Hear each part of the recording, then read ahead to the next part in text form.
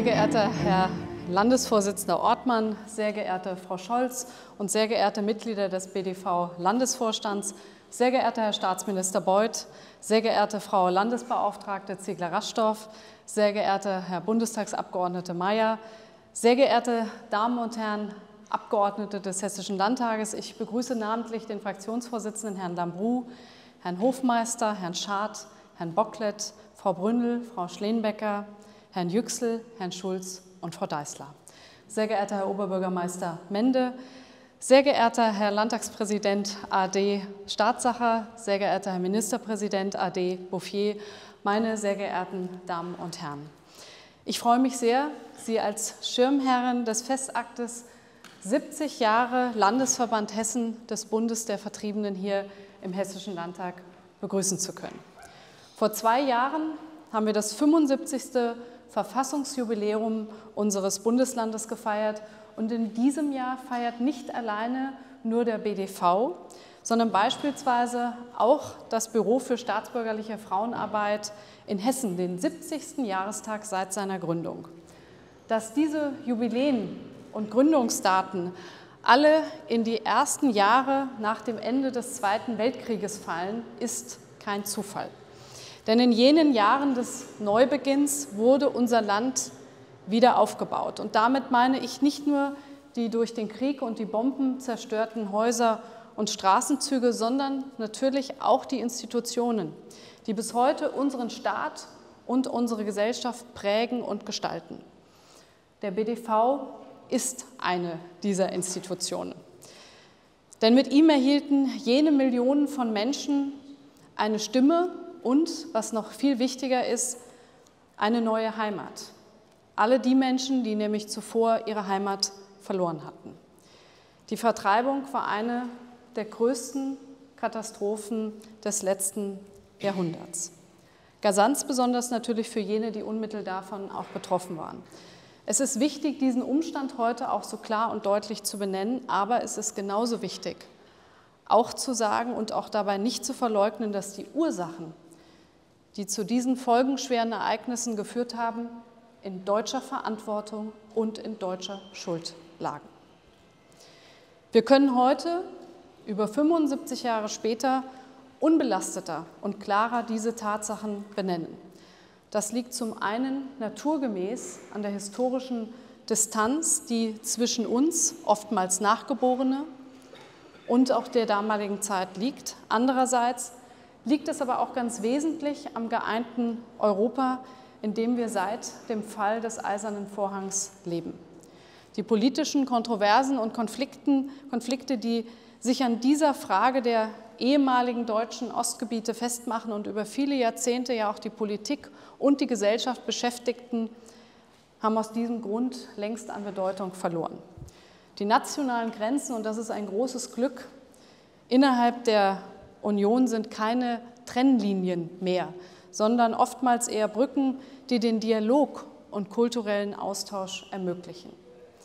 Das ist ein großes Glück für uns alle und ganz besonders natürlich auch für die Vertriebenen und Nachkommen, die ihre einstigten Heimaten wieder besuchen können. Die Rolle des BDV ist heute naturgemäß auch eine andere als vor 70 Jahren. In den Nachkriegsjahren betrauerten die Vertriebenen nicht nur ihre verlorene Heimat, sondern waren vor allem darum bemüht, im Westen Deutschlands eine neue Heimat für sich selbst aufzubauen.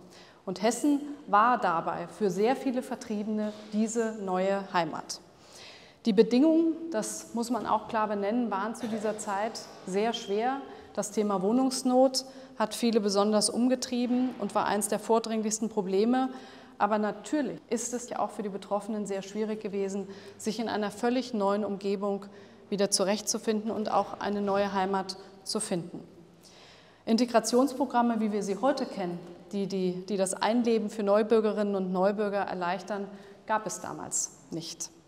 Stattdessen erfüllte aber der BDV diese integrative Funktion, indem er jene zusammenführte, die ein gemeinsames Schicksal teilten.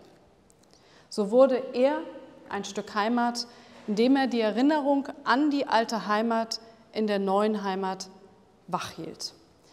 Es gibt ein berühmtes Zitat, dessen Urheber umstritten ist, aber das meiner Meinung nach ganz hervorragend das beschreibt, für was der BDV schon immer, aber gerade auch heute steht. Tradition ist nicht die Bewahrung der Asche, sondern das Weiterreichen des Feuers. Die kulturelle Identität und Tradition, die die Vertriebenen nach dem Verlust ihrer Heimat zu bewahren suchten, lebt vor allem dank des BDV heute auch weiter. Und noch mehr noch, es ist dem BDV gelungen, das Feuer, um in diesem Sprachbild zu bleiben, von Generation zu Generation weiterzugeben und sich dabei zugleich nicht abzuschotten, sondern zu öffnen und den kulturellen Austausch zu suchen. Der kulturelle Schatz, den der BDV und seine Mitglieder bewahren und pflegen, ist daher kein museales Gut, das man nur historisch besichtigen kann, sondern ein lebendiges Erbe. Und dieses Erbe nutzt der BDV heute auf wunderbar, wunderbare Weise im Sinne und im Dienste der Völkerverständigung, indem er durch seine Bildungsangebote, Dialogprogramme und Veranstaltungen den freundschaftlichen Austausch mit den Regionen und Kulturen Europas fördert. Der Rückblick auf 70 Jahre BDV in Hessen zeigt eine Erfolgsgeschichte.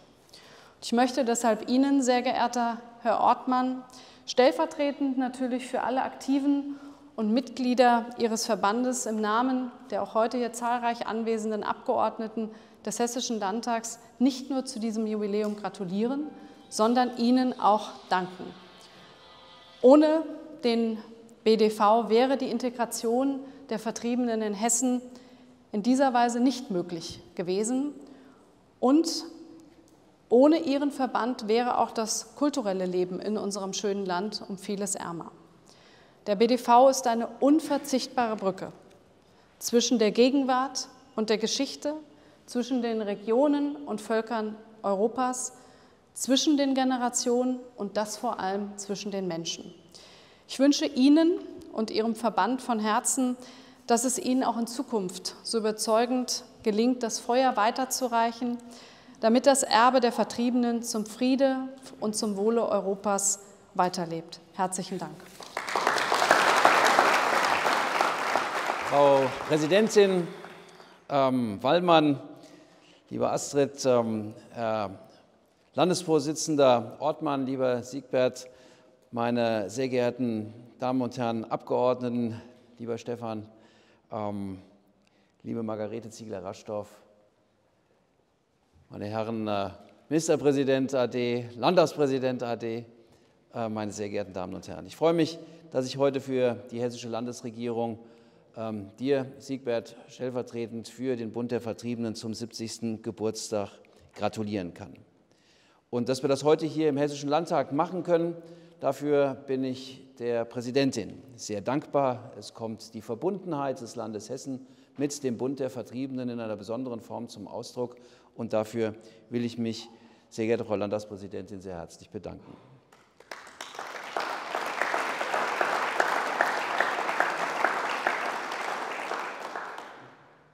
Meine Damen und Herren, die Begriffe Heimat und Identität sind keine abstrakten Vorstellungen, sondern es sind vielmehr Bestandteile ja, des eigenen Selbst, der eigenen Biografie, des eigenen Denkens und Fühlens.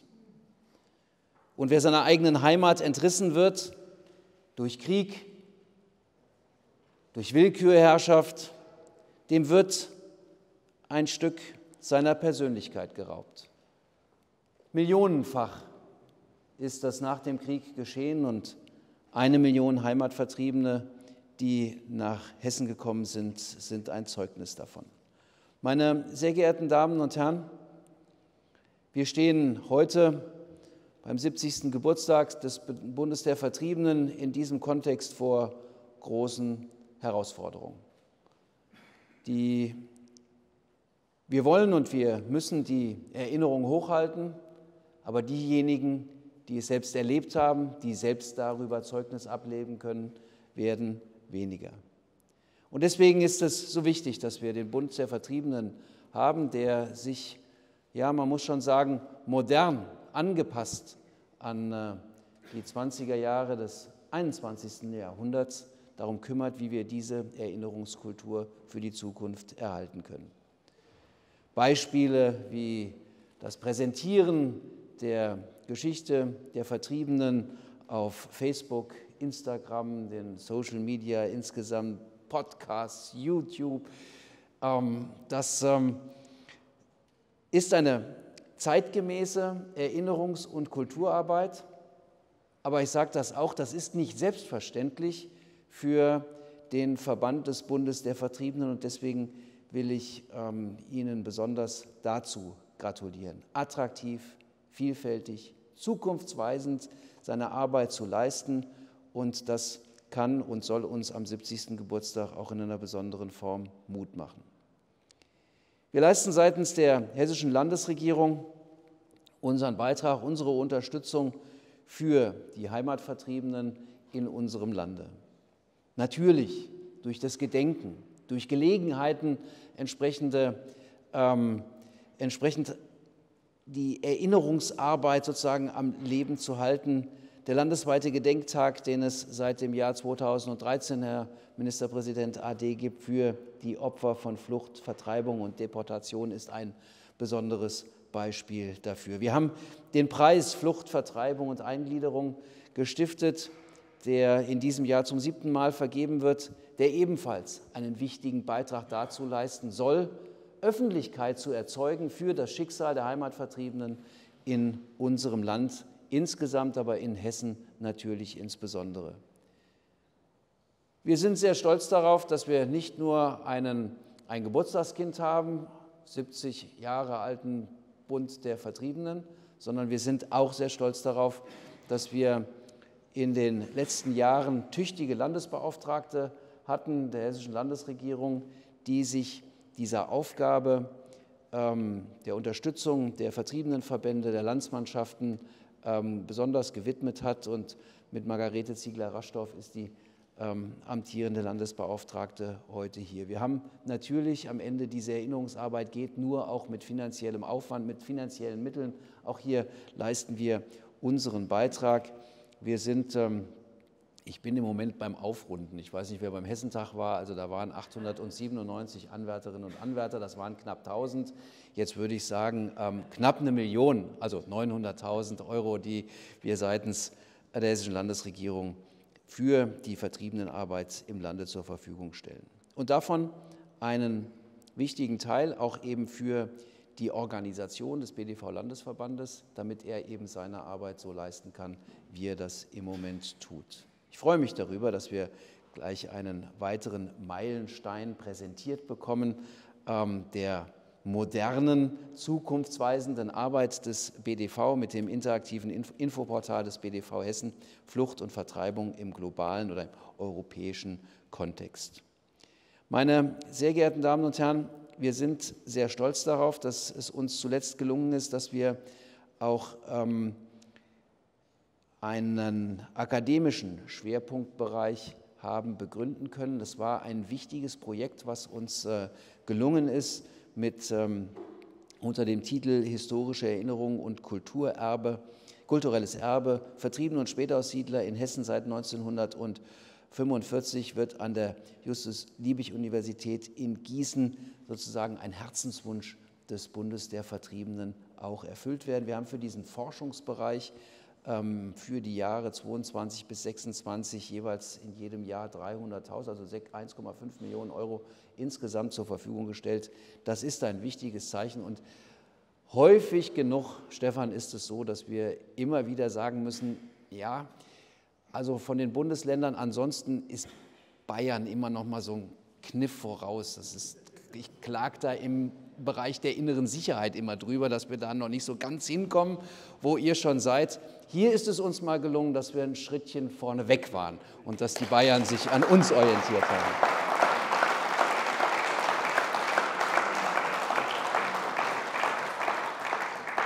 Seit sieben Jahrzehnten gibt es diesen Schulterschluss zwischen dem Bund der Vertriebenen und, ähm, dem, äh, und der Landesregierung.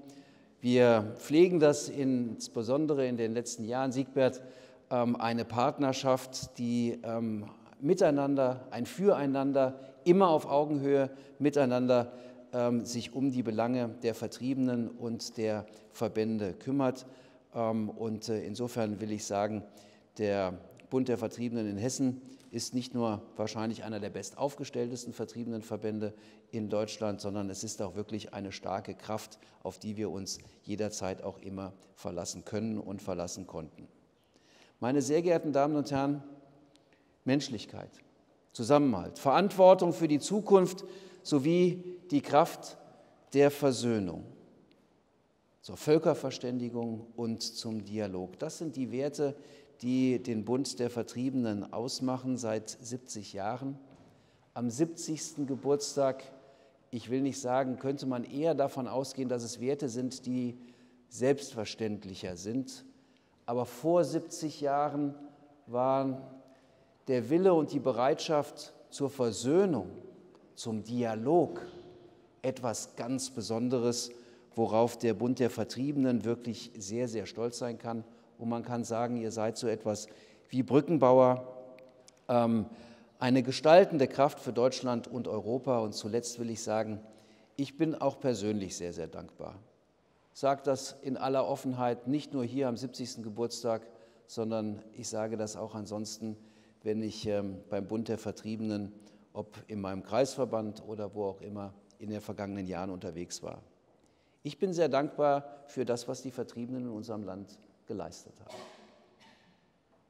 Als sie nach dem Krieg hierhin vertrieben worden sind, nichts hatten und trotzdem, ich sage es mal bildlich, in die Hände gespuckt haben und mit einen ganz, ganz wichtigen Beitrag für das Wirtschaftswunder in Deutschland geleistet haben, ähm, obwohl sie Bedingungen hatten, die wirklich alles andere als gut waren, finde ich, ist das in einer besonderen Form bemerkenswert, anerkennenswert und ich will meine Wertschätzung für diese Lebensleistung der Vertriebenen, Vertriebenen von der unsere Generation am meisten profitiert, ähm, in einer besonderen Form hier nochmal herausstellen und Danke sagen.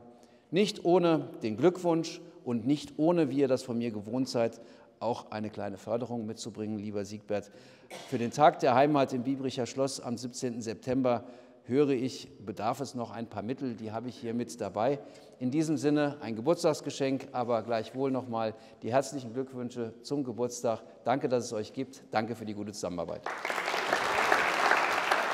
Sehr verehrte Frau Landtagspräsidentin, liebe Frau Wallmann, sehr geehrter Herr Landesvorsitzender, lieber Siegbert, sehr geehrter Herr Staatsminister, lieber Peter, meine lieben Kolleginnen und Kollegen aus dem Hessischen Landtag, sehr geehrter Herr Ministerpräsident AD, lieber Volker, sehr geehrter Herr Landtagspräsident AD, meine sehr verehrten Damen und Herren, liebe Landsleute, ich darf mich zunächst mal sehr herzlich bedanken für die sehr liebenswürdige Einladung zu, sehr, zu diesem sehr stilvollen, zu diesem sehr ansprechenden Festakt. Und es ist mir persönlich eine ausgesprochene Freude und Ehre, namens des BDVs, äh, namens des Präsidiums des BDVs, aber ganz persönlich die herzlichsten Glückwünsche zum 70-jährigen Jubiläum des Landesverbandes Hessen zu überbringen. Sie müssen leider heute mit mir Vorlieb nehmen als einer der Vizepräsidenten.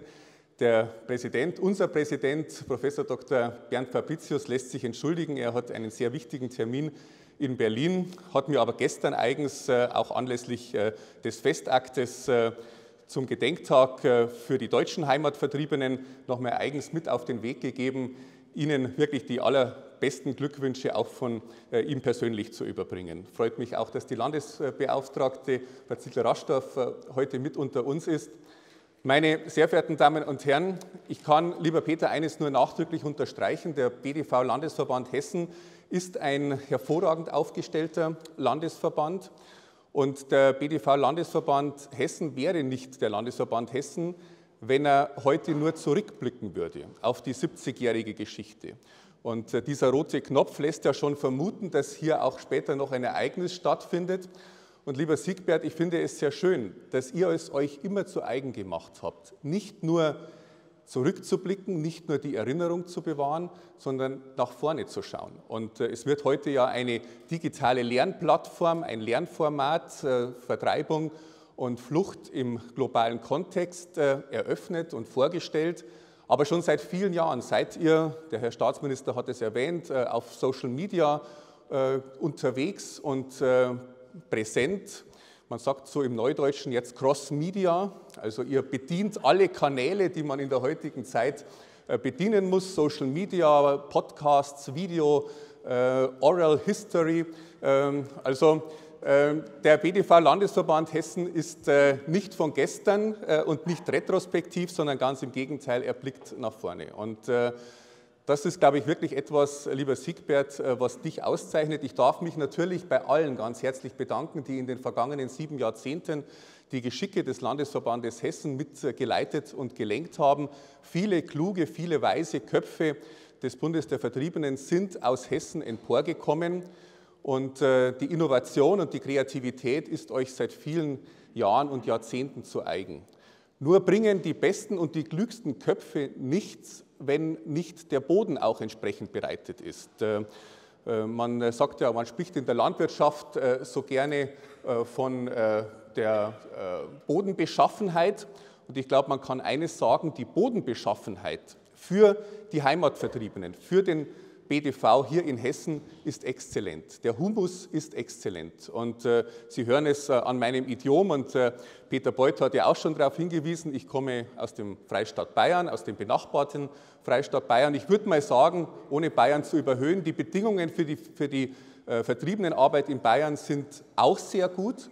Aber ich kann eines bestätigen, hier in Hessen sind die Bedingungen wirklich exzellent. Äh, das liegt auch daran, dass die Zugewandtheit der hessischen Politik seit äh, vielen Jahrzehnten traditionell gegenüber den Heimatvertriebenen sehr groß ist.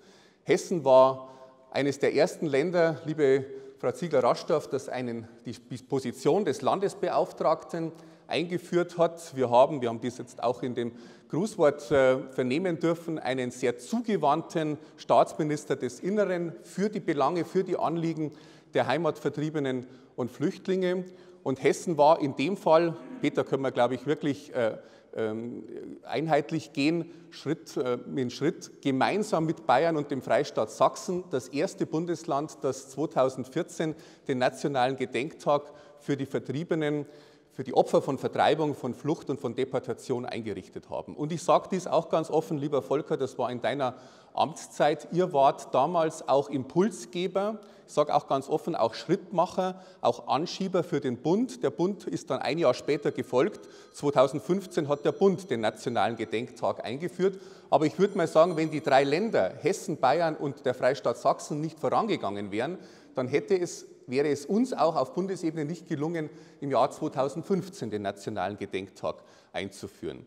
Ihr habt äh, im Hessischen Landtag einen eigenen Unterausschuss. Ich darf auch den Kollegen Hofmeister ganz herzlich willkommen heißen, der diesen Unterausschuss leitet. Ganz speziell ein Unterausschuss für die Belange der deutschen Heimatvertriebenen und Flüchtlinge und es gibt einen eigenen Landesbeirat für die Vertriebenen, der traditionell auch vom BDV-Landesvorsitzenden, in diesem Fall von dir, lieber Siegbert, äh, geführt wird. Also man sieht, in vielerlei Hinsicht ist der BDV-Landesverband Hessen bestens vernetzt und sehr geehrte Frau Landtagspräsidentin, auch der Umstand, dass dieser herausragende Festakt in den Räumen des Hessischen Landtags stattfindet, in der Herzkammer des Parlamentarismus, in der Herzkammer der Demokratie hier in Hessen, zeigt auch, dass die Heimatvertriebenen wirklich im Fokus, im Zentrum der Aufmerksamkeit und der Öffentlichkeit, auch insbesondere im politischen Geschehen hier im Land Hessen stehen. Wenn ich äh, an Hessen und äh, an die deutschen Heimatvertriebenen denke, fällt mir als Sudetendeutscher natürlich sofort das äh, Wiesbadener Abkommen ein, das hier in Wiesbaden am 4. August 1950 unterzeichnet wurde. Es war das erste Abkommen, das nach Ende des schrecklichen Zweiten Weltkriegs geschlossen wurde zwischen den Vertretern eines Vertreiberstaates, damals der Tschechoslowakei, und den Vertriebenen. Damals ein Abkommen, das geschlossen wurde zwischen, zwischen dem progressiven tschechischen Nationalausschuss, ein, eine sogenannte oder eine, Exilregierung zur damaligen äh, Regierung in der Tschechoslowakei, eine äh, Kontraregierung zu Edward Beneš und äh, der Arbeitsgemeinschaft für die Wahrung der sudetendeutschen Interessen. Und dieses Wiesbadener Abkommen ist just, sehr geehrter Herr Oberbürgermeister, am Tag vor der Unterzeichnung und der Proklamation der Charta der Heimatvertriebenen in Stuttgart unterzeichnet worden Und wir als Heimatvertriebene bezeichnen ja so gerne die Charta der Heimatvertriebenen als das Grundgesetz der Vertriebenen. Äh, der frühere Bundestagspräsident Professor Dr. Lammert hat es mal als eines der Gründungsdokumente der Bundesrepublik Deutschland bezeichnet. Und ich glaube, mit dieser Bewertung äh, geht er auch nicht zu weit und äh, zu hoch. Diese Charta der Heimatvertriebenen, die sehr vielgestaltig ist, weist ja sehr stark auch auf die Themen des Heimatverlustes und der Heimatlosigkeit hin. Aber ich glaube, man kann eines mit Fug und Recht behaupten. Im BDV Landesverband Hessen haben sich nicht Heimatlose getroffen.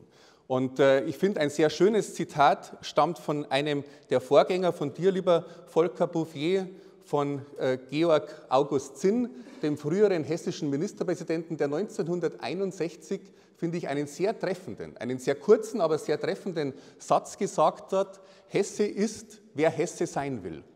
Und in diesem Satz steckt aus meiner Sicht sehr viel Tiefgang und sehr viel Tiefsinn, weil dieser Satz eines bedeutet. Hessen war offen für jeden, der sich einbringen will, der sich öffnet, der Eigeninitiative an den Tag legt. Und lieber Peter, ich kann dir nur vollumfänglich recht geben. Ich selbst habe äh, sudetendeutsche Wurzeln und es war nicht so, in Bayern denke ich nicht anders als in, in Hessen, dass die deutschen Heimatvertriebenen, egal ob sie aus Schlesien oder aus dem Sudetenland oder aus Vorpommern kamen, überall nur mit offenen Armen empfangen wurden. Das Gegenteil war häufig der Fall. Es gab äh, Ressentiments, es gab Widerstand, äh, es gab teilweise auch ganz offene Ablehnung. Aber die deutschen Heimatvertriebenen, egal wo sie herkamen, haben die Ärmel aufgekrempelt, haben angepackt und haben mit, und du hast dies auch zu Recht erwähnt, zu dem Gelingen des sogenannten Wirtschaftswunders beigetragen. Ich habe in keiner Weise das Recht, äh, für Hessen zu sprechen. Ich kann etwas für Bayern sprechen und da, daher kann ich sagen, Bayern hat diese Blutauffrischung durch die deutschen Heimatvertriebenen nach dem Zweiten Weltkrieg sehr, sehr gut getan. Äh, Bayern war damals, äh, ja, Bayern war damals das Armenhaus Deutschlands, es war, es war das ärmste Bundesland, äh, es war ein reiner Agrarstaat, hatte keinerlei Industrie. Und es kamen eben aus dem Sudetenland, aus Schlesien sehr viele Menschen, die zwar materiell mit fast nichts kamen, die aber mit sehr viel Know-how, mit sehr viel Erfahrung, mit sehr viel Wissen kamen. Und äh, ich möchte mal behaupten, dass äh, Bayern jetzt neben Hessen eines der erfolgreichsten Bundesländer ist, liegt durchaus auch, das dürfen wir, glaube ich, auch mit Stolz sagen, an dem Einsatz und an dem Engagement der deutschen Heimatvertriebenen. Und das ist aus meiner Sicht, meine sehr verehrten Damen und Herren, auch ein Umstand, auf den alle in Deutschland heute stolz sein können. Weil die Intention von Stalin und äh, Benesch war ja genau das Gegenteil, nämlich mit der Vertreibung der Deutschen aus den Ostgebieten zum Implodieren der Westgesellschaft, der, der Gesellschaft in den westlichen Besatzungszonen beizutragen. Und dass dieses Implodieren, dass dieser Sprengsatz nicht gegriffen hat, nicht gezündet hat, sondern dass genau das Gegenteil eingetreten ist und entstanden ist, nämlich dass es eine Verbindung gab zwischen den deutschen Heimatvertriebenen und der einheimischen, der aufnehmenden Gesellschaft, ist, glaube ich, wirklich in der Retrospektive betrachtet eine der größten Erfolgsgeschichten der deutschen Nachkriegsgeschichte. Und zu, dieser, zu diesem Erfolg hier im schönen Land Hessen in ganz besonderer Weise der BDV-Landesverband äh, beigetragen. Ich darf dir nochmals, lieber Siegbert, ganz, ganz herzlich danken für euer Engagement. Ich möchte auch eines noch ausdrücklich betonen, ich darf euch auch ganz besonders für die sehr vielen verständigungspolitischen Maßnahmen danken, die ihr ergreift. Nicht nur, dass ihr im Bereich der sozialen Medien sehr stark äh, engagiert seid, sondern ihr seid auch viel analog unterwegs, präsent in, den, in der früheren Heimat. Und äh, ihr habt hier eine neue Heimat mit aufgebaut, euch mit äh, erarbeitet.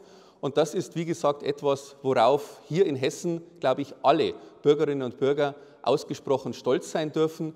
Ich wünsche dem BDV Landesverband Hessen alles erdenklich Gute für die, Zukunft, für die Zukunft, Ihnen allen persönlich Wohlergehen, Gottes Segen und Gesundheit und äh, dem Land Hessen Glück auf. Sehr geehrte Frau Landtagspräsidentin, sehr geehrter Herr Ortmann, meine sehr geehrten Damen und Herren, liebe Festgäste, das ist immer das Schicksal des vierten Redners. Es wird ein bisschen Redundanz unvermeidlich. Das kann ich Ihnen aber nicht ersparen. und es auch mir ein wichtiges Anliegen ist, den Verband heute zu würdigen. Und vieles ist gesagt worden. Ich versuche noch ein paar Facetten zu finden, die vielleicht noch nicht angesprochen worden sind. Aber spätestens, als Sie gerade äh, über Meyer gesagt haben, Hesse ist, wer Hesse sein will, habe ich zu Peter Beuth äh, geflüstert. Jetzt hat auch den letzten Satz, der in meiner Rede exklusiv stand, verwandt. das können Sie doch nicht machen. Nein, meine sehr verehrten Damen und Herren, ich freue mich hier an alter Wirkungsstätte eingeladen zu sein. Äh, der Hessische Landtag war 20 Jahre lang mein Dienstsitz und ich bin gerne wieder hergekommen. Ähm, und es ist mir vor allen Dingen eine große Freude, ein Grußwort im Namen der Landeshauptstadt Wiesbaden zum 70-jährigen Gründungsjubiläum des Landesverbands Hessen e.V. des Bundesvertriebenen sprechen zu können. Ich möchte Ihnen meine herzlichsten Glückwünsche aussprechen und natürlich die Anerkennung für Ihre wichtige Arbeit zum Ausdruck bringen, denn sein Sitz hat der Verband bei uns hier in Wiesbaden und deswegen bin ich gerne gekommen, quasi als Vertreter der Sitzstadt im Haus der Heimat, ein Haus, in dem wirklich ähm, die unterschiedlichen Landmannschaften ähm, untergebracht sind und eine wichtige Institution in unserer Stadt. Das heutige Jubiläum markiert einen Meilenstein in der Geschichte des Verbandes und würdigt gleichzeitig ihr wichtiges Engagement für die Vertriebenen in Hessen.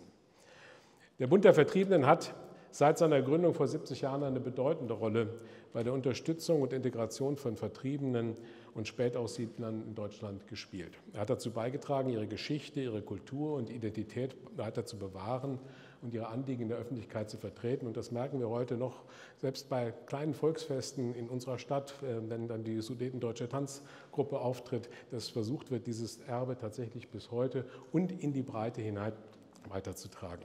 Und ich glaube, unter diesem Motto steht ja auch die heutige Veranstaltung ein bisschen, es ist einfach unglaublich wichtig, wenn die Zahl der Angehörigen der Erlebensgeneration sinkt, ähm, die neue Wege zu finden, diese bleibende Aufgabe der Erinnerungskultur weiter zu pflegen. Denn es ist eine riesengroße, eine ja, fast kaum zu leistbare Aufgabe, künftige Generationen zu erreichen, die eben anders als wir, meine Generation jedenfalls, nicht mehr von mündlicher Überlieferung profitieren können, sondern die andere Wege finden müssen. Die neuen Medien sind ja heute schon mehrfach angesprochen worden. Ähm, auch äh, Landtagspräsidentin, ich bin sehr dankbar, dass Sie auch nochmal auf die Ursache der Vertreibung eingegangen sind, denn die Geschichte der Vertriebenen ist untrennbar mit dem von Deutschland ausgehenden Schrecken des Zweiten Weltkriegs verbunden.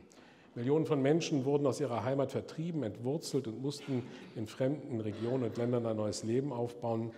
Sie litten an körperlichen und seelischen Wunden und waren heimatlos in einem zerstörten Land. Diese Erfahrung prägt bis heute die Lebensgeschichten und Identitäten der Vertriebenen und ihrer Nachkommen. Aber sie war immer getragen von zwei Grundgedanken der Charta. Sie haben gerade darauf Bezug genommen, nämlich Verzicht auf Rache und Vergeltung und Schaffung eines geeinten Europas, in dem die Völker ohne Furcht und Zwang zusammenleben können. Ich glaube, das ist uns auch heute noch Auftrag und Leitlinie. Die Stadt Wiesbaden ist stolz darauf, ein Zuhause für viele Vertriebene und ihre Familien zu sein. Und es ist uns wichtig, ihre Beiträge zum kulturellen und gesellschaftlichen Leben unserer Stadt zu würdigen, was auch die unschätzbare Leistung beim Wiederaufbau des Landes einschließt. Und hier wäre jetzt das Zitat von Georg Austin gekommen, Hesse ist, wer Hesse sein will. Erinnerungskultur steht immer in Bezügen zur Gegenwart und das ist mir vielleicht noch wichtig heute zu betonen. Das gilt auch für das heutige Jubiläum. Dem Ringen um Frieden, um Aussöhnung, um ein Leben ohne Furcht und Zwang, wie es in der Charta heißt, und gerade im Hinblick auf die aktuellen Konflikte und Kriege in der Welt besondere Bedeutung zu. Denn Vertreibung ist eben nicht nur Geschichte. Vertreibung ist auch Gegenwart. Etwa wenn man an den russischen Überfall auf die Ukraine denkt, an die von Russland besetzten Gebiete und die dort stattfindenden ja, faktischen ethnischen Säuberungen. Die Geschichte der Vertriebenen und der Geschichte der Vertriebenen zu gedenken, ist eben auch immer ein Appell an Humanität und an die Anerkennung fundamentaler Menschenrechte, gerade auch im Hinblick auf den heutigen Umgang mit Geflüchteten und Vertriebenen. Im Namen der Stadt Wiesbaden möchte ich dem Landesverband Hessen des Bundes der Vertriebenen noch einmal herzlich zu diesem bedeutenden Jubiläum gratulieren. Ich danke Ihnen allen für Ihr anhaltendes Engagement und wünsche mir, dass Vertriebene auch in Hessen in Zukunft dank ihrer Arbeit, für ihre Arbeit und bestmögliche Voraussetzungen vorfinden. Dazu kann ich nicht viel beitragen, aber immerhin mit einem kleinen Schack etwas. Vielen Dank.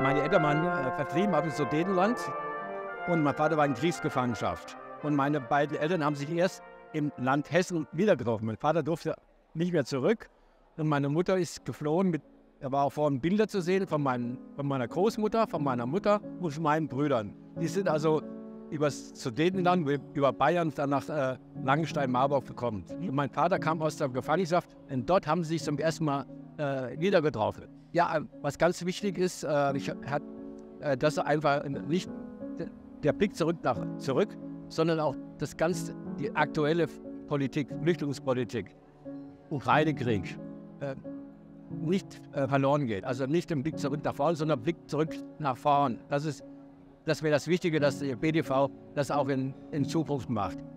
Aufarbeitung der Vergangenheit wichtig. NS-Vergangenheit ist ja ganz klar und da wurde ja auch schon angesprochen. Man kann das die Flucht der Vertreibung nicht verstehen, ohne diesen Angriffskrieg, den Hitler gemacht hat.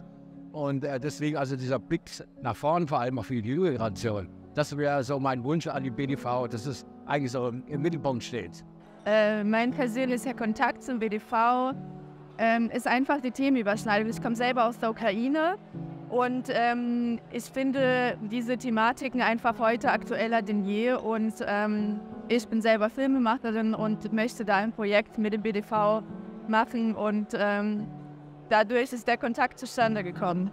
Meine persönliche Verbindung mit dem BDV ist einfach die Arbeit des BDV. Die Vielfältigkeit, was für die Vertriebenen getan wird. Und vor allen Dingen, heute habe ich es mir klar geworden, für die Zukunft. Das ist ganz, ganz wichtig, denn meine Generation, sie ist am Weggehen, aber wir haben Kinder. Und den Kindern das weiterzugeben, das ist für mich wichtig. Und vor allem diese Freiheit. Ich immer wieder hier spüre, dass ich reden kann, was ich möchte.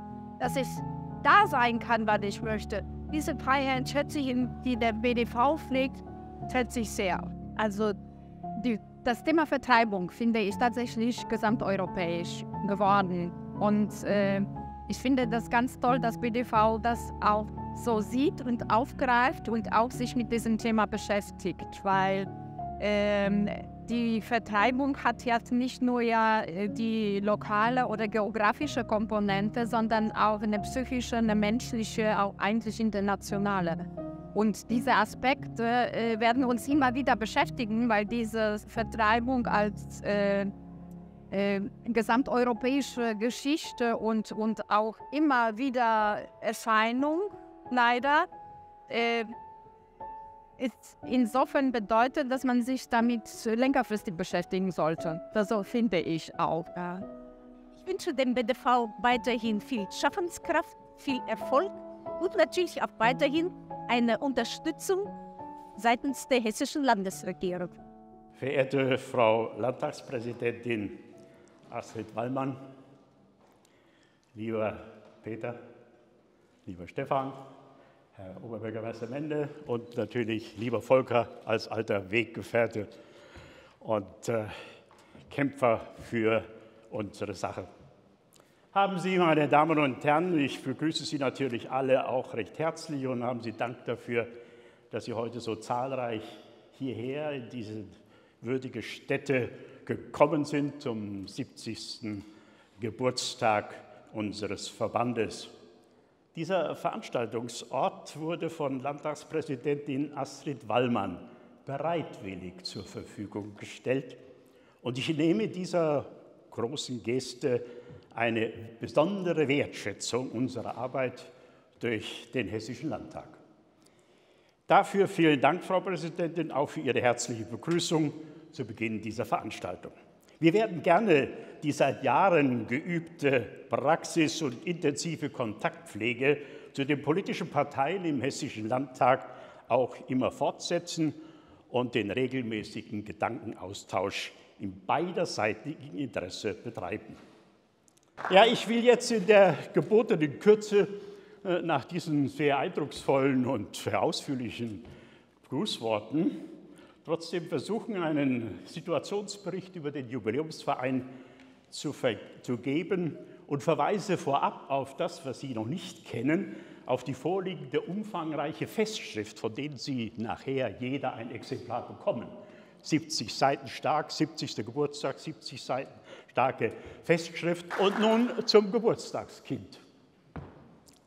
Am 10. Juni, Juno 1953 fand in der Aula der Philipps-Universität zu Marburg an der Lahn der Gründungsakt statt. Daraus ging der Bund der vertriebenen Deutschen, Vereinigte Landesgruppen der Landsmannschaften und Kreisverbände Landesverband Hessen e.V. als einheitliche Vertriebenenorganisation in Hessen hervor. So war nach jahrelangen Konsultationen unter den konkurrierenden und zersplitterten vertriebenen Verbänden, es wurde vorhin schon darauf hingewiesen, nach dem Zweiten Weltkrieg letztendlich ein schlagkräftiges und durchorganisiertes Interessenorgan geschaffen worden, das auch politisch Gehör fand. Dafür standen gewissermaßen als Grundpfeiler die sogenannten, jetzt kommt der ein oder andere ins Schwitzen, die sogenannten Marburger Beschlüsse mit folgenden Eckpunkten, die damals zementiert wurden. Es wird in Hessen bei den Vertriebenen eine Doppelmitgliedschaft eingeführt. Wer Mitglied im Bund der Vertriebenen ist, ist zugleich Mitglied in seiner Landsmannschaft. Und wer Mitglied umgekehrt, wer Mitglied seiner einer Landsmannschaft ist, ist zugleich Mitglied im jeweiligen Kreisverband des Bundes der Vertriebenen. Der zweite Eckpfeiler, es gibt nur einen einheitlichen Mitgliedsbeitrag. Das war eine gar nicht so einfache Sache, denn die unterschiedlichen Mitglieds, Mitgliedsbeiträge mussten unter einen Hut gebracht werden. Und noch in der heutigen Zeit, vor einigen Jahren, haben wir besonders bei einer Landsmannschaft ja besondere Schwierigkeiten, die einfach sich an dieses System nicht gewöhnen konnte. Und schließlich drittens die paritätische Besetzung der Führungsgremien. Also bei uns im BDV Hessen gibt es Landsmannschaften, Landesgruppen und Kreisverbände BDV.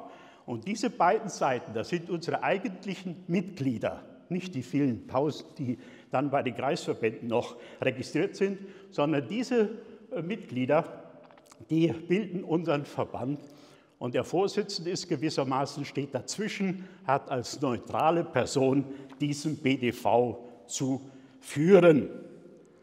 Nach der satzungsgemäßen Umsetzung der Beschlüsse, der Marburger Beschlüsse, war das Ende der, der zersplitterten vertriebenen Bewegungen eingeläutet.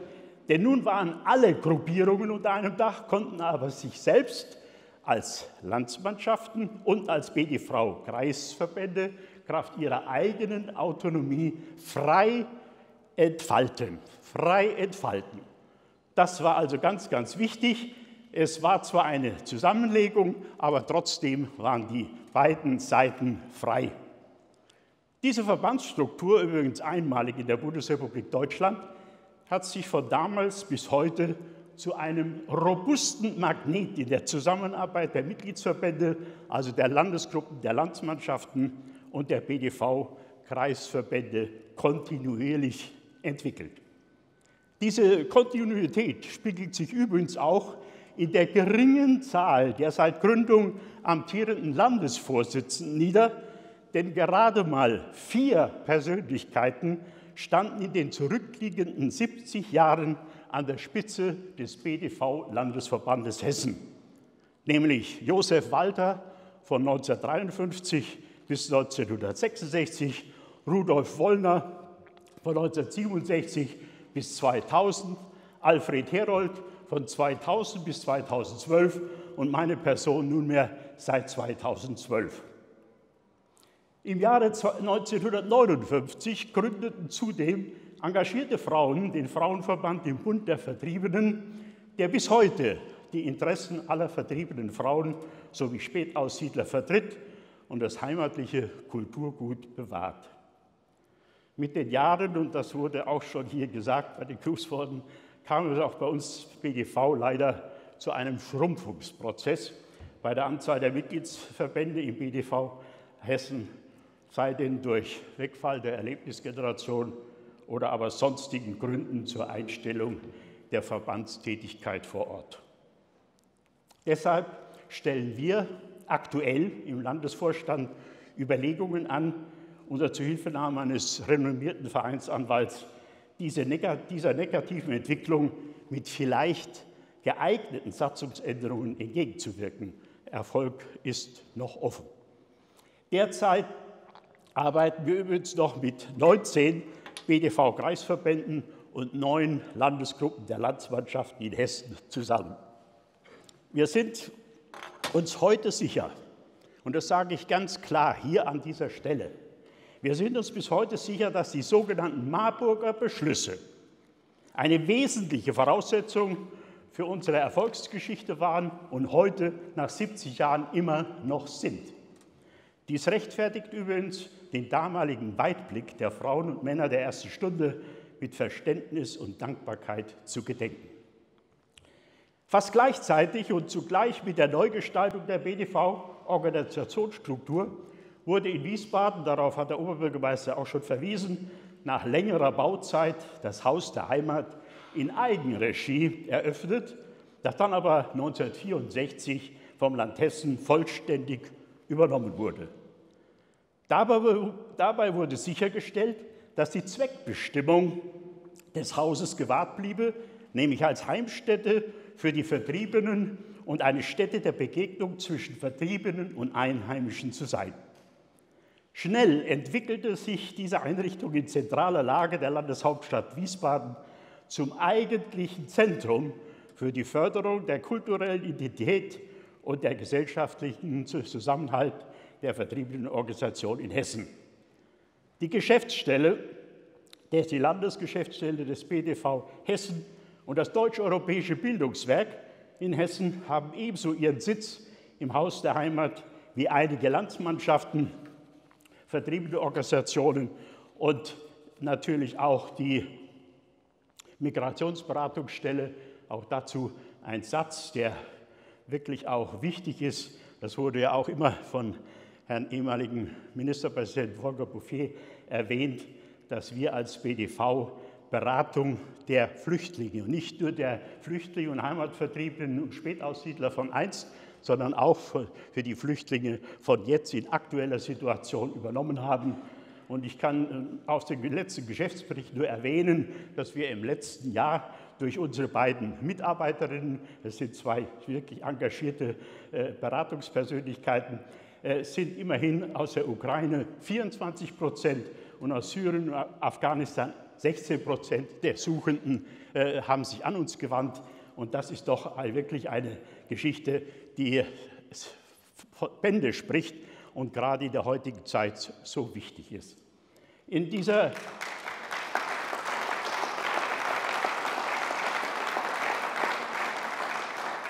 in diesem Haus der Heimat ist jetzt auch neuerdings eine Geschäftsstelle der Landsmannschaften äh, in Betrieb genommen worden. Auch das ist eine Neuerung und führt vielleicht dazu, dass auch die Aktivitäten unter den Landwirtschaften hier nochmal gebündelt werden. Als Ort der kulturellen Vielfalt und der Kommunikation steht das Haus der Heimat mit geeigneten Versammlungsräumen und Konferenzzimmern allen Bürgern und demokratisch gesinnten Organisationen für Veranstaltungen zur Verfügung. Und in den vorhandenen Ausstellungsräumen werden vom BDV regelmäßig in Kooperation mit nationalen, internationalen Kultur- und Bildungseinrichtungen Sonderausstellungen organisiert mit dem Ziel, einer breiten Öffentlichkeit Wissenswertes aus, aus, der gemeinsamen Geschichte und Kultur im östlichen Europa zu vermitteln.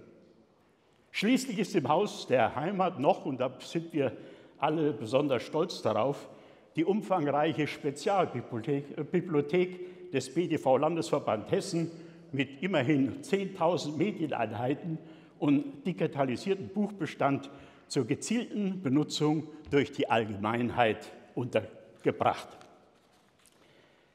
Meine Damen und Herren, nach vorhandenem Archivmaterial und alten Tätigkeitsberichten und Veröffentlichungen kann man meines Erachtens das Verbandsleben des BDV Hessen und seiner Organisation seit Gründung kurz und verständlich mit dem Dreiklang bewahren, erinnern, versöhnen umschreiben und damit gleichzeitig einen geeigneten Orientierungsrahmen für künftiges Verbandshandeln aufzeigen.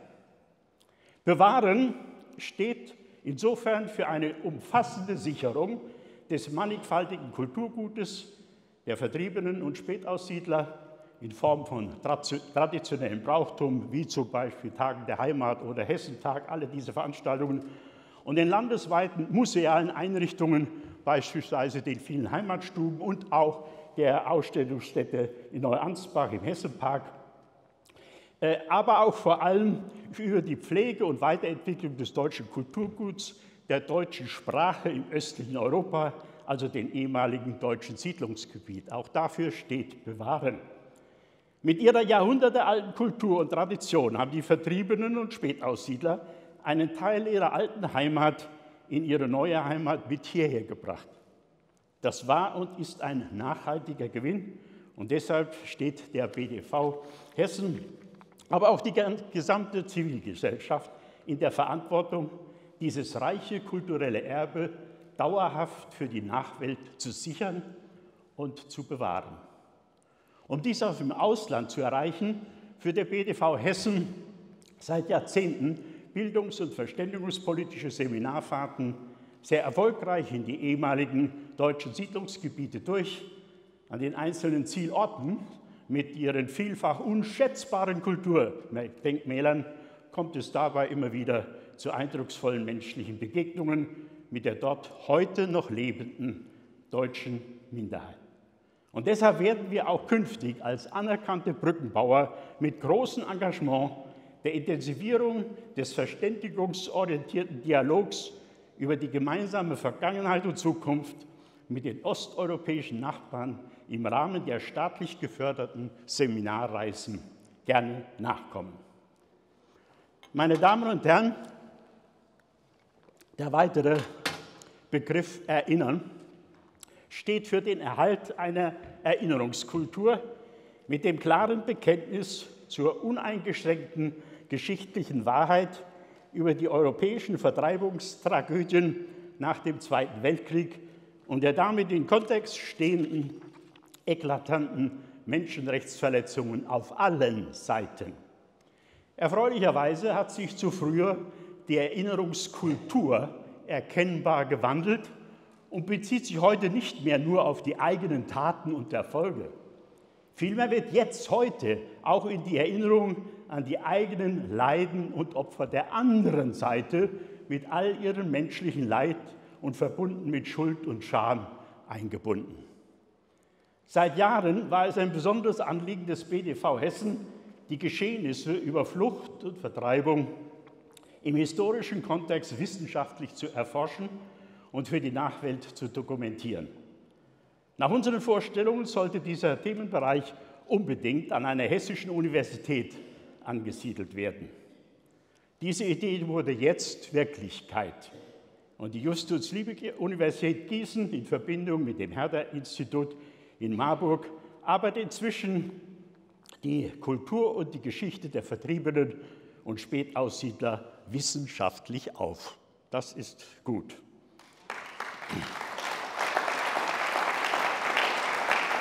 Meine Damen und Herren, und schließlich bleibt noch der Begriff Versöhnen. Dadurch wird bekanntlich erst die Voraussetzung für ein friedliches Leben unter Menschen geschaffen. Ich sehe hierin eine Vision, also einen Zukunftsraum unter den Nationalitäten. Der brutale Angriffskrieg der Russen gegenüber der Ukraine ist ein belegtes Beispiel dafür. Denn er macht eine heimatpolitische Verbandsarbeit der Landsmannschaft der Deutschen im Russland, die bei uns ja Mitglied ist, derzeit unmöglich.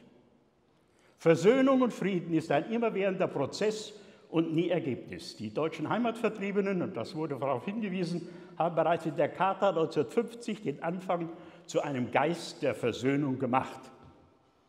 Aber bis heute ist Ungarn, Ungarn das einzige europäische Land, das mittels Parlamentsbeschluss die Vertreibung der Deutschen, der Ungarndeutschen aus ihrer Heimat verurteilt hat. Ich hatte persönlich die Ehre, bei diesem Parlamentsbeschluss in Budapest persönlich anwesend zu sein mit meinem damaligen Kollegen Georg Stolle. Und es war schon sehr beeindruckend, dort die ungarischen Politiker zu diesem Thema zu hören und diese Entschuldigung da entgegenzunehmen.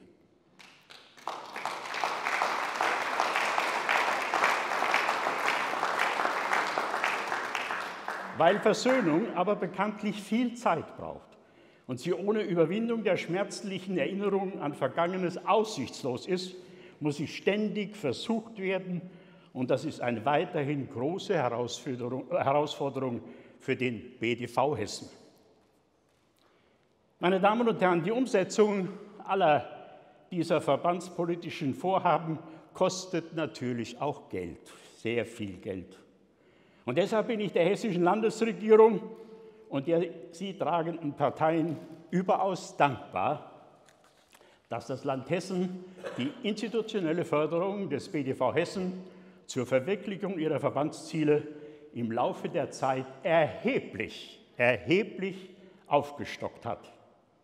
Für mich als Landesvorsitzender bedeutet dies, dass ich mit einer solch großzügigen Landesunterstützung der Weg in eine erfolgreiche und nachhaltige Zukunft des BDV Hessen als eine weiterhin lebendige Vertriebenenorganisation mit klaren Alleinstellungsmerkmalen sehr spannend und erfolgreich gestalten lässt. Ich freue mich weiterhin auf diese Arbeit. Vielen Dank.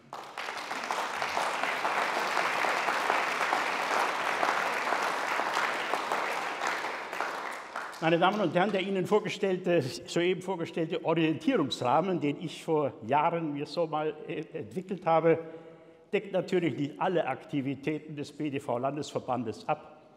Über die Jahre kamen noch spezielle Aufgabenfelder hinzu, die unsere Beteiligung erforderlich machten. Ich nenne beispielsweise die Mitwirkung, auch das wurde schon gesagt, im Hessischen Landesbeirat für Vertriebene, Flüchtlinge und Spätaussiedlerfragen, die Mitgliedschaft im Rundfunkrat des Hessischen Rundfunks, auch eine sehr wichtige Sache, denn auch dort sitzen wir mit einem Mitglied im Rundfunkrat und können unmittelbar Einwirkung auf irgendwelche äh, Besonderheiten bei dieser Rundfunkanstalt machen. Dann weiter die periodische, periodische Herausgabe der Verbandszeitschrift Deutsche Umschau, der ein oder andere von Ihnen, also von den Mitgliedern, gehe ich davon aus, dass Sie alle sie beziehen und die anderen bekommen sie auch irgendwie. Wir freuen uns immer wieder. Es kommt nur viermal im Jahr, wenn die nächste Ausgabe wieder kommt. Dann weiter, neu hinzu kam die Beteiligung im sogenannten Asylkonvent. Da war damals 2015 nach dieser großen Flüchtlingswelle unser Ministerpräsident, damaliger Ministerpräsident Volker Bouffier, verantwortlich dafür, dass das überhaupt entstanden ist in Hessen und wir als Verband, als BDV gleich Mitglied in diesem Asylkonvent waren. Vielen Dank noch damals, äh, nochmals, äh, lieber Volker, für die damals äh, äh, von dir getroffene Entscheidung und ich glaube, wir haben uns ganz gut eingebracht in dieser, in dieser Runde. Es geht dann vielleicht weiter noch. Die die Situation, äh, die wir äh, erlebt haben, die Kontaktpflege eben mit den politischen Parteien. Die Frau Landtagspräsidentin hat ja die äh, Damen und Herren des, des Landtags, die heute hier und Gäste sind, vielen herzlichen Dank, schon begrüßt. Wir freuen uns immer wieder zu diesen Jahresgesprächen, zu diesen ausführlichen Gedankenaustausch mit den politischen Parteien, um eben am Ball zu bleiben, um mitten in der Gesellschaft zu sein mit unserem Verband und nicht irgendwie außen vor oder ewig gestrig, sondern mittendrin sind in der Politik, in der Landespolitik. Das ist ganz, ganz wichtig. Auch spielen natürlich die seit einiger Zeit, und das wurde ja auch schon gesagt, so sehr von uns gepflegten digitalen sozialen Medien mit vertriebenen spezifischen Dokumentationen und Filmbeiträgen auf Facebook, Instagram, YouTube, dem eigenen Kanal Culture to Go äh, sowie Spotify bei unserer Verbandsarbeit eine immer größere Rolle.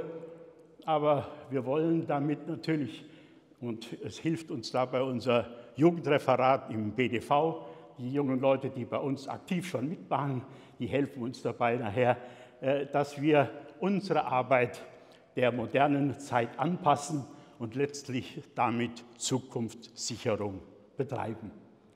Äh, mit dem ausdrücklichen Dank an Sie alle und vor allem an alle haupt- und nebenamtlichen und ehrenamtlichen Mitarbeitern unseres Verbandes, unseres Jubiläumsverbandes für die bisher erbrachten Leistungen und den Mitgliedern und Freunden für ihre jahrelange Treue zum Bund der Vertriebenen. Ich bedanke mich für Ihre Aufmerksamkeit. Vielen herzlichen Dank. So, ich freue mich hier zu stehen und Sie jede einzelne, jede einzelne zu begrüßen. Äh, es ist mir eine ganz besondere Ehre, auch hier im Landtag zu stehen. Liebe Frau Landtagspräsidentin, liebe Astrid, ganz, ganz lieben Dank nochmal. Das kann man gar nicht oft genug betonen. Und Sie glauben gar nicht, wenn man hier vorne steht, was das für ein tolles Bild ist. Und ich kenne ganz viele von Ihnen. Ich freue mich, dass Sie da sind.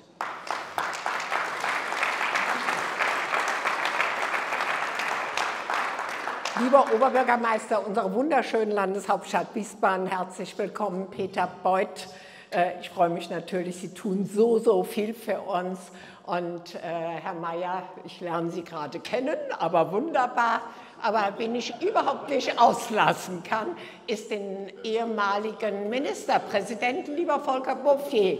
Ich freue mich sehr, dass Sie, du heute gekommen bist, als Staatssacher natürlich. Herzlich willkommen mich, ich habe mich nicht besonders ans Protokoll gehalten, aber so als letzte Rednerin darf ich mir das, glaube ich, jetzt herausnehmen. Ich habe nämlich ganz was Tolles mit Ihnen vor. Ich habe die Einführung vor in etwas, ja, wir sind Cross-Media. Da sind wir wahnsinnig stolz drauf. Und dass wir jetzt äh, ein Digitalportal heute vorstellen können und dass ich das machen darf, ist etwas ganz Besonderes. Ähm, dieses Digitalportal hat eine Projektlaufzeit von immerhin gut einem Jahr, von August 2021 bis Dezember 2022. Und jetzt hören Sie sehr gut zu. Wir haben ein Projektvolumen von 123.000 Euro und das ist schon was ganz Besonderes. Das Digitalportal Flucht und Vertreibung im europäischen Kontext berichtet von den ursprünglichen nationalsozialistischen Ideologien im 19. Jahrhundert, von den frühen Vertreibungen ganzer Volkstruppen, von Schicksal der deutschen Flüchtlinge und Vertriebenen aus dem östlichen Europa und von ihrer besonderen Rolle, die ihre Erfahrungen und Lebensleistungen auch und vor allen Dingen für das heutige Essen äh, gegeben haben. Das Portal bettet das Flucht- und Vertreibungsgeschehen in einen größeren historischen Kontext ein und behandelt die Frage, wie sogenannte ethnische Säuberungen im früheren Jugoslawien, Ruanda und der Ukraine verhindert werden können. Der Hintergrund war, das will ich auch ein bisschen stolz sagen, dass wir 2018 tatsächlich, Herr Ortmann, Sie erinnern sich, in der Geschäftsstelle begonnen haben, über digitale Möglichkeiten des BDVs zu sprechen. Und dann gab es als Resultat der kleinen Anfrage der SPD-Landtagsfraktion vom 24.06.2019 äh, dass wir Unterrichtspraxis und die Auseinandersetzung mit dem Thema Flucht und äh, Vertreibung an hessischen Schulen befördern. Und es war auch so ein bisschen eine Idee geboren, den hessischen Schulen moderne und zukunftsgerichtete Unterrichtsmaterialien zu diesem Themenkomplex zur Verfügung zu stellen. Die Verankerung des Themas Flucht und Vertreibung im hessischen Kerncurricula für die Sekundarstufe 1, Sie verzeihen mir, ich bin eine ehemalige Lehrerin, gibt es seit dem Schuljahr äh, 11, 12 und in der Sekundarstufe 2 seit dem Schuljahr 16, 17 und zwar für das Fach Geschichte. Darüber hinaus werden Themen Migration und Migrations- und Flüchtlingspolitik im Unterricht des Faches Politik und Wirtschaft thematisiert. Und ich möchte gerne Ihnen ein Zitat ähm, äh, vermitteln äh, vom hessischen Kultusminister Professor Dr. Alexander Lorz. Das Thema soll künftig in hessischen Schulen einen größeren Stellenwert erhalten.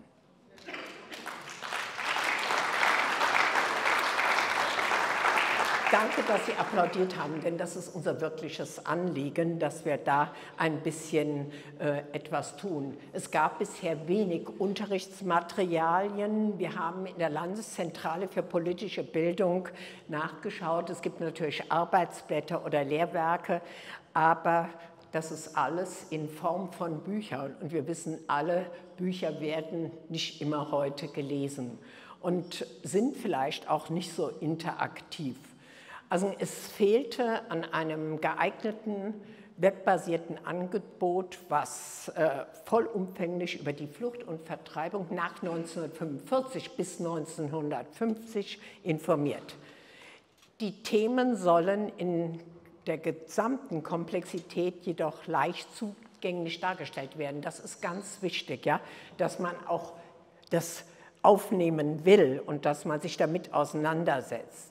Und was für mich natürlich auch ganz wichtig ist, ist Interaktivität, dass ich was tun kann, dass ich lernen kann, dass ich mit, mich mit diesen Themen beschäftigen kann. Und äh, was äh, auch uns immer sehr persönlich wichtig ist, lieber Herr Ortmann, das ist, dass wir eben auch in die Zukunft schauen und dass wir den aktuellen Zeitgeist mitnehmen.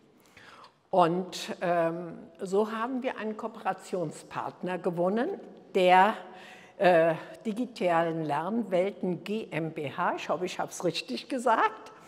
Der Kontakt zu diesen digitalen Lernwelten entstand über Frau Ziegler-Raschdorf, und durch die Arbeit an dem Infoportal Russlandsdeutsch, ist das richtig, Margarete, in Hessen ist im Auftrag der Interessengemeinschaft der Deutschen aus Russland in Hessen dann Kontakt geknüpft worden. Und äh, wir sind sehr froh, dass wir sie gefunden haben. Wir hatten eine Arbeitsgrundlage, das war die Grundlage der Publikation des Hessischen Kultusministeriums Umsiedlung, Flucht und Vertreibung der Deutschen als internationales Problem zur Geschichte eines Irrwürges. Unser Schwerpunkt sollte auf Flucht, Vertreibung und Umsiedlung der Deutschen als Folge des Zweiten Weltkrieges liegen. Und es sollen Parallelen zu den fortwährend äh, stattfindenden Fluchtbewegungen und Vertreibungswellen in den ähm, neuesten europäischen äh, Ländern ähm, gezogen werden. Und das ist uns ganz, ganz wichtig, denn äh, tatsächlich haben ja die Vertriebenen eine Riesenerfahrung, auch die Nachfahren. Und wir sehen das immer daran, dass, ähm, und das, ich, hab, ich, entnehme das den Medien und der Presse, dass Vertriebenen im ganzen Land, Herr Mayer, ich weiß nicht, ob Sie es bestätigen können, ihre Erfahrungen auch bei heutigen Flüchtlingen besonders empathisch einbringen und zur Seite stehen können. Das heißt also, Verfahren, Erfahrungen auch der Nachfahren ist unheimlich spät, heute mit diesem Thema Flucht und Vertreibung im europäischen Kontext umzugehen. Ähm, wir haben mit Lernwelten im E-Learning-Bereich äh, ganz neue Perspektiven eröffnet. Auf die Vermittlung der Inhalte haben wir besonderen Wert natürlich gelegt und in vielen virtuellen äh, Sitzungen kristallisierte sich heraus, dass hier ein, oh Herr Mayer, und jetzt bin ich richtig stolz, ein multimediales Werk in der Entstehung ist, das ein Alleinstellungsmerkmal in ganz Deutschland aufweisen wird. Das Digitalportal besteht aus umgerechnet, und jetzt hören Sie mir bitte genau zu, weil es mir selber, das imponiert mir einfach. Ähm, aus mehr als fast 400 Seiten Text, mehr als 1000 Bildern, die sowas natürlich sehr veranschaulichen, etwa 800 Videos und fast 150 interaktiven Elementen, also dass Schüler oder jeder, der sich damit beschäftigt, Möglichkeiten hat, sich mit der Thematik auseinanderzusetzen. So, und jetzt kommt das Allerbeste. Das Angebot ist kostenfrei. Das heißt also, alle Schulen können das annehmen. Wir werden das auch dem Kultusminister natürlich vorstellen. Und ähm, es kann jeder auch, jeder Bürger, jeder Interessierte darauf Zugriff haben. Ich habe eine ähm, Danksagung auszusprechen, besonders an die digitalen Lernwelten. Ich danke dem Team und die Zusammenarbeit war wunderbar, professionell, konstruktiv und so, wie man sich das wünscht. So, liebe Margarete, ich habe dich nicht vergessen. Komm bitte zu mir auf die Bühne. Danksagung an die hessische Landesbeauftragte für Heimatvertriebene und Spätaussiedler und ihr Team Yvonne Kremer, Kathleen Kerhill, äh, Frau Annette Stoll. Sie haben maßgeblich zum Digitalportal beigetragen mit Herzblut und was ich immer das Allerwichtigste finde, mit Leidenschaft. Und deswegen gilt dir auch ein besonderer Dank. Martha, und, ja. so. und den Blumenstrauß. Herzlichen Dank. Danke. Peter Beuth, äh, wir haben den Minister nicht vergessen. Wir haben Geschenke. Kommen Sie. Ich habe äh, die übernommen. Wir danken Ihnen sehr herzlich. Nur mit ja. so einem Minister ist vieles gegangen. Herzlichen Dank. Sagen Sie nicht ja, ja, das ist ja, da wir sind sehr glücklich. So, wir haben die Festschrift drin und das, was ich auch so gerne esse, Ananastörtchen ja, aus Wiesbaden. Ja, ja, ja. Dankeschön. So.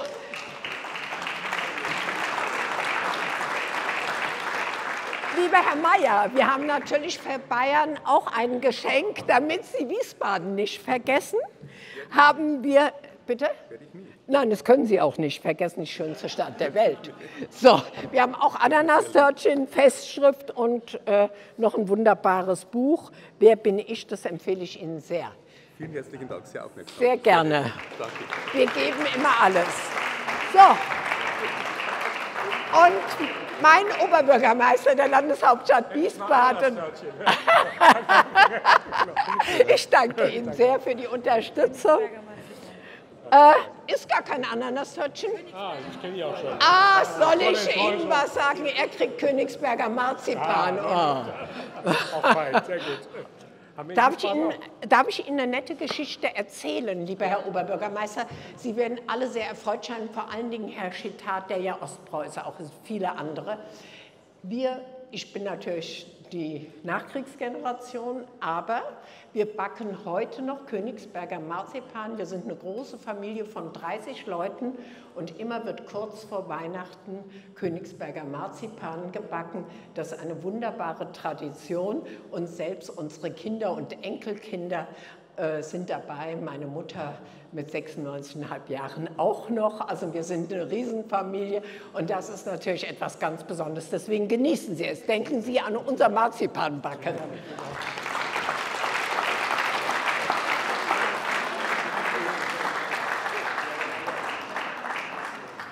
So, ich danke Ihnen sehr herzlich, dass Sie mir zugehört haben. Sehr geehrte Frau Landtagspräsidentin, sehr geehrter Herr Minister des Inneren und für Sport, sehr geehrter Herr Oberbürgermeister der Landeshauptstadt Wiesbaden, sehr geehrte Abgeordnete des Hessischen Landtages, lieber Herr Ortmann, liebe Frau Ziegler-Raschdorf, liebe Vertreterin des Bundes der Vertriebenen und der Landsmannschaften hier im Saal, meine sehr geehrten Damen und Herren, ich freue mich außerordentlich, anlässlich dieser würdevollen Feierstunde mit meinen Mitarbeiterinnen und Mitarbeitern bei Ihnen hier in diesem Hohen Hause sein zu können, um das Digitalportal zu Flucht und Vertreibung im europäischen Kontext der Öffentlichkeit vorzustellen.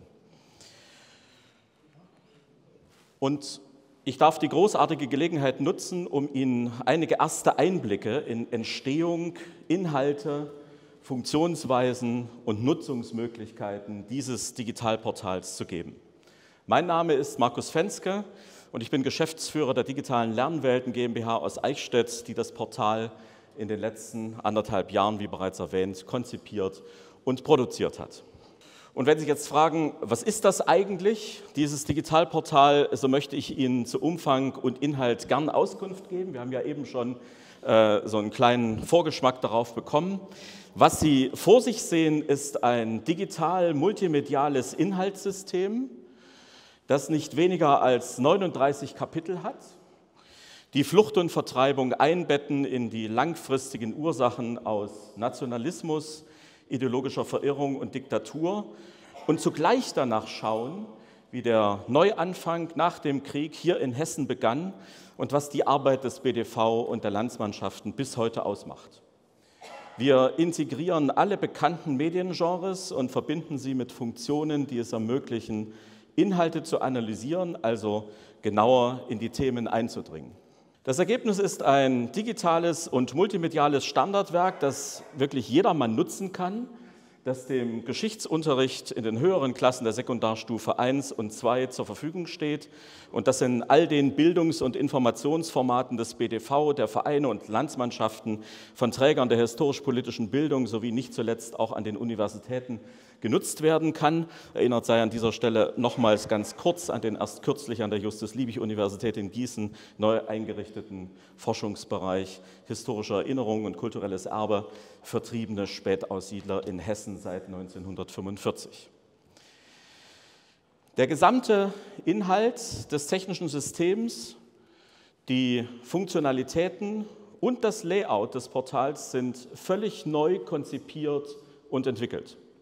Wir haben also nicht nur bestehendes Material ins Netz gestellt, sondern ein echtes Innovationsprojekt realisiert, das die aktuellen Forschungsergebnisse aus Fachwissenschaft und Didaktik ebenso aufnimmt wie die neuen digitalen Umsetzungsmöglichkeiten. Sie sehen hier einige Szenen des Arbeitsprozesses. Das Besondere ist, alle Mitarbeiterinnen und Mitarbeiter arbeiten Hand in Hand, damit am Ende ein kohärentes Produkt entsteht. Autoren entwickeln also die Aussage von Schaugrafiken oder den Zuschnitt, die Färbung und die Inhaltsbezüge von Karten gemeinsam mit Grafikern und Technikern. Gleiches gilt für die Auswahl und die Erstellung von Bilderserien, für Videos und interaktive Elemente. Zu diesem Team gehören Kolleginnen und Kollegen der Medienproduktion hier in der unteren Reihe oder auch das Autorenteam hier bei einer Recherche in der Ausstellung Flucht, Vertreibung, Versöhnung im Sommer 2021 in Berlin. Letztlich gibt es bei uns nur eine Maxime, nämlich ein inhaltlich, didaktisch überzeugendes Produkt zu schaffen. Das ist der Antrieb all unserer Projekte und äh, wir sind glücklich, äh, gerade diesen Ansatz bei diesem Thema bei Ihnen hier in Hessen ähm, so äh, wunderbar ähm, realisieren zu können. Die Einbeziehung der Expertise der Erlebensgeneration und der historischen Fachleute, die im BDV und in den Landsmannschaften an den Themen zum Teil seit Jahrzehnten arbeiten, so wie etwa eben schon genannt Jürgen Heller und Helmut Brandl, das war uns von Anfang an sehr wichtig. Einbezogen wurden auch erfahrene Kolleginnen und Kollegen der Geschichtsvermittlung vor Ort, so etwa Jochen Rube, der Geschichtslehrer in Frankfurt am Main ist, sowie auch von Spezialisten für bestimmte Ereignisse oder Räume, zum Beispiel der Kollegin Julia Tenzer aus Dresden für osteuropäische Geschichte und für öffentliche Geschichtskultur oder auch von Marina Herischko aus Linz für die Schilderung der Zeit, als der Nationalismus im 19. Jahrhundert aufstieg und die alten Vielvölkerstaaten also etwa Österreich-Ungarn, abzulösen begann. Während der gesamten Projektlaufzeit haben wir eine enge Zusammenarbeit mit dem BDV Hessen als Auftraggeber und dem Team der Landesbeauftragten für Heimatvertriebene und Spätaussiedler im hessischen Innenministerium gepflegt. Meine Damen und Herren, wir machen sehr viele Projekte genau dieser Art, aber ich kann mich an keines erinnern, bei dem beide Seiten so offen so themenzugewandt, so vertrauensvoll und so kreativ miteinander zusammengearbeitet haben. Vielen Dank.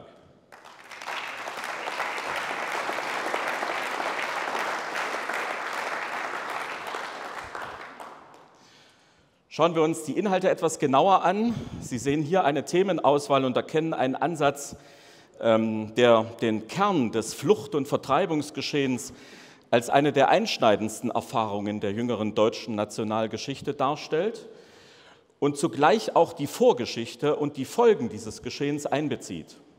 Menschen, die fliehen mussten, sind nicht ihr ganzes Leben lang nur Flüchtlinge. Sie kommen an neue Orte und versuchen weiterzuleben. So auch in Hessen.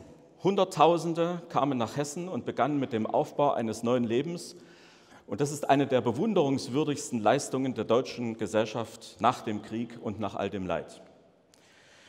Und nicht zuletzt geht es uns darum, Flucht und Vertreibung auch, aber natürlich nicht nur, als gegenwärtige Erfahrung zu zeigen, die verdeutlicht, dass die Forderungen nach Anerkennung der Heimat als Menschenrecht immer noch nur allzu berechtigt sind.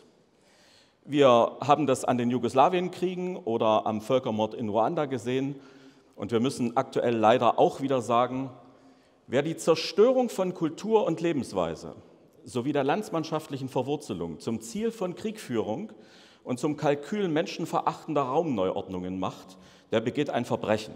Auch das soll dieses Portal vermitteln. Die Nutzung aller Mediengenres war uns wichtig. Wir haben dabei auch interaktive Medien und 360-Grad-Techniken genutzt. Die Vielfalt reicht also äh, in diesem Portal von Autorentexten über Bilder und Karten, originalen Quellen bis hin zu Historikerdarstellungen. Sie finden aber auch Zeitzeugenberichte oder ähm, ja, zum Teil auch per Audio und Video, annotierte Karten, interaktive Zeitstrahlen, Bildslider, oder 360-Grad-Aufnahmen, die zum Beispiel Museumsräume erschließen und Nutzerinnen und Nutzer des Portals viel stärker an Themen binden. Ziel war es, alle digitalen und medialen Möglichkeiten der Gegenwart zu nutzen, um Menschen für dieses Portal zu interessieren und ihnen die Möglichkeit zur selbstständigen Auseinandersetzung mit Vergangenheit und Geschichte zu geben. Letztlich sollen sie dabei unterstützt werden, ein urteilsfähiges Geschichtsbewusstsein zu entwickeln. Das Material wurde nach aktuellen fachdidaktischen Standards entwickelt und kann daher gerade auch von jüngeren Lernenden genutzt werden. Das geht mit Begleitung durch Lehrerinnen und Lehrer, aber auch im Selbstlernen. Das geht im Klassenraum oder vor Ort, in einer Heimatstube oder auch an einem Denkmal, das an Flucht und Vertreibung erinnert. Und davon gibt es im Land Hessen etwa 250. Natürlich ist das Portal außerdem für Geschichtsinteressierte aller Generationen spannend, auch wenn ihre äh, Familien nicht aus den Ostgebieten nach Hessen kamen. Denn Alteingesessene und Neubürger haben nach 1945 dieses Land zusammen aufgebaut. Es ist ihre gemeinsame Geschichte.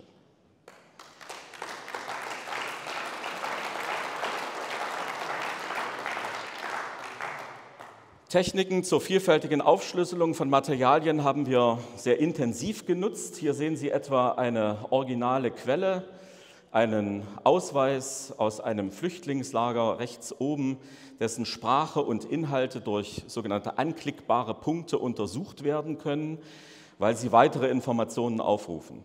Der Zeitstrahl äh, unten rechts bildet einerseits grafisch sehr übersichtlich die Einschnitte eines Lebenslaufs ab und liefert andererseits durch die Klickpunkte umfangreiche Informationen zu diesem Leben, statt also eines langen Textschlauchs eine übersichtliche und handhabbare Struktur, die in nachvollziehbaren Teilen rezipiert werden kann. Und wenn Sie jetzt fragen, was sind ähm, die Einsatzmöglichkeiten des Portals, so kann ich nur sagen, die sind sehr breit gefächert. Das Material, ist ja eben auch schon gesagt worden, ist frei verfügbar wird in die Lehr- und Lernplattformen des Landes Hessen eingebunden, ist demnächst auch über die Seiten des BDV Hessen und des Innenministeriums erreichbar und steht damit dem schulischen Unterricht zur Verfügung. Im Bild rechts sehen Sie beispielsweise einen Projektwochenworkshop im Oktober 2022 an einer Schule in Fulda. Die teilnehmenden Schülerinnen und Schüler haben sich dabei an fünf Tagen mit einem ebenfalls von uns entwickelten Material zur, historischen, äh, zur historisch-politischen Bildung auseinandergesetzt und Themen wie Medienkunde, Krieg und Frieden sowie Persönlichkeitsentwicklung bearbeitet. Meine Damen und Herren, wir wollen Danke sagen, und zwar dem Ministerium des Inneren und für Sport des Landes Hessen, der Beauftragten des Landes für Heimatvertriebene und Spätaussiedler, äh, Spätaussiedler liebe Frau Ziegler-Raschdorf, Sie und Ihre Mitarbeiterinnen waren nicht nur jederzeit ansprechbar, Sie haben dem Projekt auch persönlich so viel Interesse entgegengebracht, wie ich es selten erlebt habe. Ich möchte dem BDV Landesverband Hessen mit ihren Geschäftsführerinnen Frau Jolanta Lemm und Agnes Brügging-Lazar sowie dem Vorsitzenden Siegbert Ortmann danken, äh, für die das Gleiche gilt. Wir haben Ihre, ist ja schon genannt worden, Bibliothek genutzt, ähm, über Bildquellen äh, beraten, uns über Autoren ausgetauscht und vieles mehr. Und nicht zuletzt möchte ich allen Mitarbeiterinnen und Mitarbeitern der digitalen Lernwelten danken, die das Projekt an jeder Stelle mit Expertise und mit sehr viel Herzblut vorangetrieben haben. Danke stellvertretend für alle an den Projektmanager Lukas Epperlein.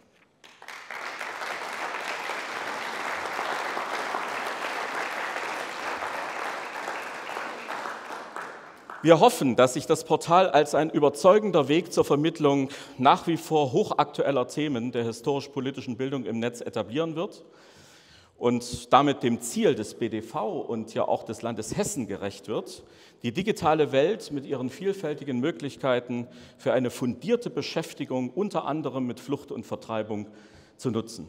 Meine Damen und Herren, ich danke Ihnen recht herzlich.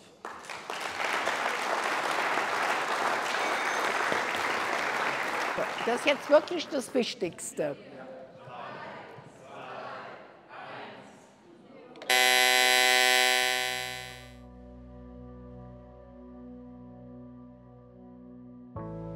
Herzlich willkommen im Digitalportal Flucht und Vertreibung.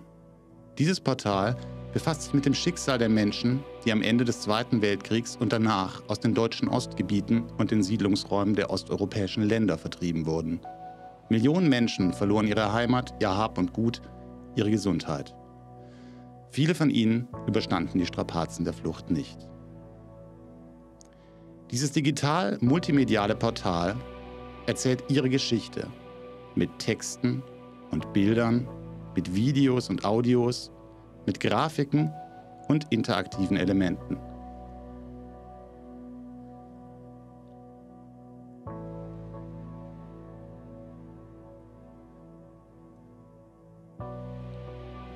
Es richtet sich an alle Interessierten, gerade auch an jüngere Geschichtslerner, die sich mit diesem Thema im Unterricht, in Vereinen oder Projekten beschäftigen wollen. Die Autorinnen und Autoren haben weit ausgeholt und stellen den Kontext dieses Vertreibungsgeschehens dar.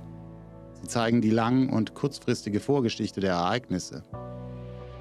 Und sie zeigen, wie diese Ereignisse die Entwicklung des Nachkriegsdeutschlands entscheidend beeinflusst haben und so eine zentrale Bedeutung für die jüngere deutsche Nationalgeschichte und die Geschichte des Landes Hessen bekamen. Wir haben uns viele Fragen gestellt. Wie konnte es so weit kommen? Und wie haben die Menschen die Flucht erlebt? Aber eben auch, wie ging es danach weiter? Wie haben sich diese Millionen Menschen von denen viele nach Hessen kamen, ein neues Leben aufgebaut. Und natürlich gerade für die gegenwärtige Generation ganz entscheidend, hat sich etwas geändert? Wie gehen wir heute mit Flucht, Vertreibung und Heimatvertriebenen um? Entstanden ist ein digitales Standardwerk, bestehend aus umgerechnet fast 400 Seiten Text mit mehr als 1000 Bildern und etwa 800 Videos und fast 150 interaktiven Elementen. Gegliedert ist dieses Portal in neun Hauptkapitel, denen insgesamt 39 Unterkapitel zugeordnet sind. Wir hoffen, dass wir Ihnen mit diesem kurzen inhaltlichen Überblick Lust darauf gemacht haben, unser Digitalportal auf eigene Faust zu erforschen und wünschen Ihnen dabei viele interessante neue Einblicke und Entdeckungen.